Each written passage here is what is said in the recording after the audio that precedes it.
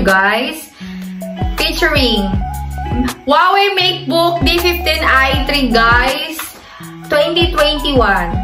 Una muna is, papakita ko muna sa inyo guys yung box nitong Huawei MateBook D15i3 2021.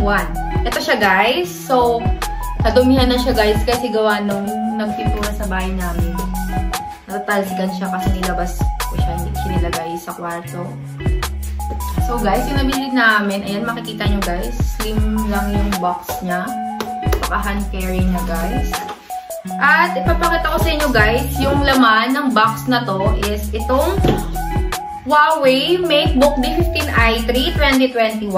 Sa kaya, sa kaya yung kanyang charger guys. Talk about guys, yung external part naman nitong Huawei MateBook D15, D15i3 2021 guys. Kung makikita nyo guys, yung front niya, was, yung color nito guys is Mystic Clear Silver. Ah, guys, yung logo niya guys is pinamodern na ng Huawei. Hindi na siya guys yung parang uh, yung sign ng Huawei. Nilagay na lang talaga nila yung mismong pangalan ng Huawei. So, pinamodern na na talaga nila. Let's talk about yung side nito.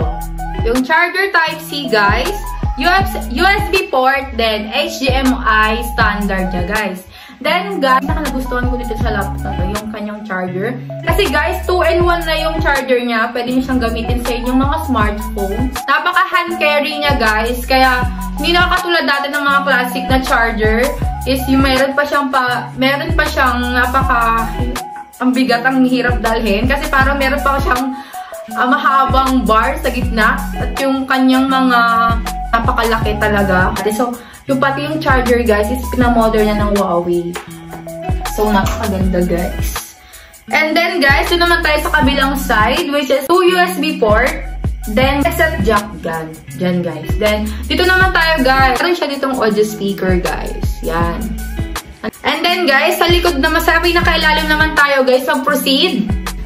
Makikita nyo, guys, is meron siyang, andito sa likod, yung kanyang fan, then yung kanyang stereo speaker. Kung mapapansin nyo, guys, pinaganda na ng Huawei yung kanilang, ano, Meron na siyang laptop stand para maiwasan yung pag-overheat. Kasi guys, pag once na may ganito na siya guys, yung effect, yung tulong niya sa atin guys is uh, naka, hindi siya masyadong nakakyat dun sa, for example, yung nilagay ko siya sa higaan natin, sa upuan, sa table. Hindi siya, hindi natin nga kailangan lagyan pa ng ano, uh, material dun sa ilalim para hindi siya mag-overheat. At nilagyan na siya ng laptop stand guys. And then guys, let's talk about naman guys, loob nitong ano, Huawei. Bubuksan na natin siya guys. Ah! Wow! Ayan na guys. Kung mapapansin nyo guys, yan, ilalapit ko sa inyo guys. Sorry guys, malabo na kasi ginagamit to ng kapatid ko sa kanyang online school at little sister ko yon Kaya that's why medyo madumi-dumi pa yung kanyang screen. So guys, yung Huawei logo, pina-smaller. Kung mapapansin nyo guys, yung uh, screen niya is napaka full screen niya guys. Tapos guys, napaka uh, slim lang ng bezel niya guys. So, yung mga edges, wala na dyan yung camera guys, di ba? So, pinamodern na camera ng laptop na to is nilipat ng Huawei sa keyboard guys. Kung mapapansin nyo guys, nasa pagitan siya ng F6 and F7 guys. Pupush mo lang siya guys na ganito para mag-open na yung camera. Kasi guys, kaya nilagay ng Huawei, ginawa nilang ganito yung kanilang system sa camera. Or kung gusto mo siyang i-close guys, it's really easy lang. Pupush mo siya ulit. Then push mo ulit kung gusto mong ibuksan. Kasi guys, for privacy na rin siya guys. Kasi merong mga laptop guys, dati ba diba, yung mga classic laptops is naka-indicate or nakalagay lahat ng camera dito sa pinaka-screen. Dito guys, dito ba, madalas dito sa middle part ng screen ng laptop, yung mga cutting design ng laptop or yung mga iba pang laptops guys. Kasi guys, for data, for privacy na rin natin niya guys, kasi meron mga sometimes na na-hack or yung mga laptops halos na-hack, kaya nakukuhaan pa rin tayo ng mga images, identities natin. That's why is para to sa ating privacy guys. So, really helpful at napakaganda. Kung mapansin nyo guys, kung gusto nyo na siyang i-close, then push nyo lang siya guys. How about the keyboard guys? Napak, ano niya, easy siya, easy matouch, easy to click.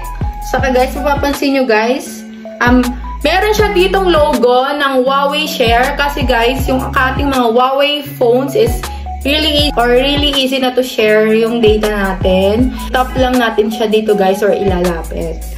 So guys, how about the touchpad? Touchpad naman guys napaka-smooth. Tapos, really easy to use yung kanyang touchpad talaga the best. Kung mapapansin nyo guys, meron siyang speaker dito kasi dito. So, napakaganda ng audio speaker nito guys. Kasi nilagay ng Huawei yung speaker dito sa pinakamalapit. So, kapag nag-online class tayo guys, for example, online class or may katawagan tayo dito, kaya natin kailangan head, headset or para lang marinig tayo ng kausap natin. So guys, nga pala guys, yung screen size nito is 15.6. Yung specification nitong laptop guys. Napaka-modern na ng laptop na to kasi meron na siyang fingerprint guys. So easy to access na tong guys. Hindi ko lang siya nilagyan ng finger or my fingerprint kasi gagawa nung ginagamit pa siya ng little sister for for her ano online class. That's why, pero it's really easy pa rin naman to access. Pero may fingerprint na rin siya, guys. So, really the best talaga. Napaka-modern. Kung mapapansin nyo, guys, may similarity siya sa MacBook laptops, guys. Napaka, may similarity na sila, guys. So, it's really perfect, guys. Kung mahilig kayo manood ng Netflix, mga movies, mga H, uh, mga HD movies. Napakaganda ng screen niya, guys. Napaka full screen. Saka how about guys naman kung sa bigat niya, guys? Kung napaka hand carry naman siya, guys. Kung mapapansin nyo, slim type naman siya. Pero to be specific, yung ang weight nito, guys, is 1.5 kilograms. Napaka-slim ng vessels, guys. It's really modern talaga. Napakaganda. Sa mga nagtatanong dyan, kung really worth it ba to based sa aking experience ito sa laptop na to, kung worth it ba to ko to avail? Yes, guys! Kasi nga gawa nung kanyang kapag nag-avail tayo ng mga gadgets or cellphones or laptops, ang pinaka-titingnan natin dapat yung kanyang specification which is the RAM and the storage ng ganitong klaseng mga gadgets natin guys. RAM nga pala nito guys is 8 gig And then, yung screen size niya is 15.6. Yung storage niya is 256 gigabytes SSD. So, napakaganda niya, guys. For office work, gaming, video editing, napaka-perfect niya, guys. Nga pala, guys, nabili namin to 31,999 pesos sa Santa Ro sa SM Santa Rosa, Laguna, sa mismong Huawei store po. Yung freebies, guys, na nakuha ko after kong ma-avail to is, meron akong nakuha dito laptop backpack, guys. Na color niya din yung laptops, kaya napaka-perfect nito. Napakaganda niya, guys. Yan. And then, guys, may nakuha kaming tumbler. Wala na siya sa box kasi ginagamit ko na siya. And then, guys, meron pa akong nakuha. Meron pa kaming nakuhang ano. Ito, guys. Wireless na table lamp.